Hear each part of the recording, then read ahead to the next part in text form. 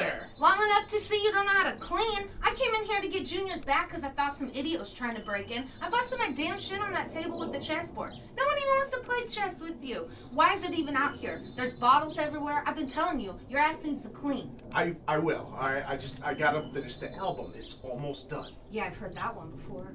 Yeah, but you haven't heard the album yet. That's because you never finish anything, fool. Nah, nah, seriously, it's it's almost done. Well, play that shit then, and let's start cleaning. Oh, okay, okay, you'll see.